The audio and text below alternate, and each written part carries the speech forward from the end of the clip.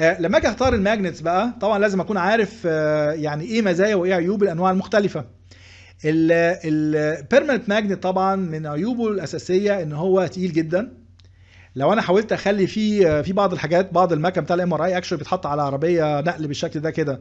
وده بيتعمل مثلا في مستشفيات بحيث إن يبقى بدل ما مستشفى تشتري مكنة ويبقى مستشفيات تانية ت refer ليها لا ده في مثلا كذا مستشفى يعملوا sharing لمكنة ويبقى المكنة دي في عربية نقل كده تتنقل بين المستشفيات دي كل مثلا مستشفى يوم. okay؟ فطبعا لو أنا حاولت الصورة دي صورة لطيفة الحقيقة بتقول لنا لو أنا حاولت أعمل الكلام ده ب permanent magnet ده اللي هيحصل فعليا يعني. okay؟ فطبعا حاجة مش مش لطيفة خالص. طبعا ما ينفعش إن أنا أعمل الكلام ده ب permanent magnet عادة الحاجات اللي زي كده بنعملها يا إما ب superconducting يا إما ب resistive طبعا هنا ال field strength بتاعي ما بيبقاش كبير عكس ال superconducting ننسى ال resistive ده لأن هو بقى قليل قوي وهو كده كده في ال market ما هواش كتير يعني ال market ما هواش فيه resistive magnets كتير. فيعني نقارن أحسن بين ال superconducting وبين الايه ال permanent ال permanent ميزته الأساسية طبعا إن هو ما فيش تكلفة خالص للاستعمال بتاعه. بنتكلم على ال field strength بتاعه يعتبر من عيوبه إن هو مش مش كبير. ال cost بتاعه يعتبر رخيص عشان كده آه، يعني بنتكلم على يعني إن هو لو واحد عايز يشتري آه، مثلا آه، مكنة بسعر رخيص بيبقى غالبا بيروح لل permanent magnet ما بيروحش لل superconducting. آه، بنتكلم على ال ال ال fringe field بتاعه أو المساحة اللي هو محتاجها الأوضة اللي هو محتاج يتحط فيها. نتيجة لأن ال magnetic field بتاعنا صغير بتبقى برضو صغيرة. بعكس بقى ال superconducting magnet بيبقى عندنا طبعا لازم أوضة كبيرة. بنتكلم على إن ال field strength بتاعه طبعا ميزته إن هو كبير قوي. بنتكلم على ال cost إن هو طبعا غالي. بنتكلم على ال weight بتاعه يعتبر برضو إلى حد ما مش مش صغير. بس طبعا إحنا بنوصل هنا ممكن نوصل ل 30 طن.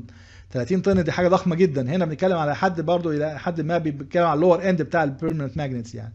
فطبعا كل واحد فيهم له مزايا وله عيوب. بس طبعا في بعض ال applications ملهاش حل غير إن أنا أستعمل ال superconducting magnet زي ما بتكلم مثلا على ال functional MRI بتكلم على spectroscopy بتكلم على أي application محتاج signal to noise ratio عالية لازم استعمل له superconducting magnet ممكن نقارن بقى بال advantages وال disadvantages بين كل واحد فيهم. يعني بتكلم مثلا على ال permanent magnet low capital cost low operating cost ما بيحتاجش أي هيليوم ولا ولا حاجة زي كده. ال fringe field بتاعه صغير فالأوضة بتاعته ممكن تكون صغيرة.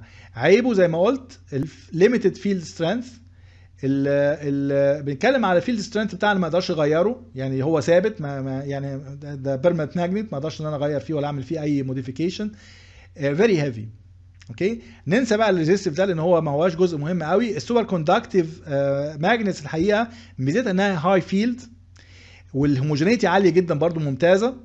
ال power consumption برضو قليلة مش مش بطالة. الميزة برضو أو العيب بتاعه بقى إن هو capital cost بتاعه عالي يعني تكلفته عالية.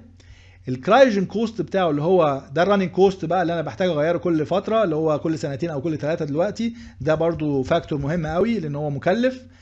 آه بنتكلم على ال fringe field بتاعه إن هو عادة نتيجة ال field strength بتاعي كبير.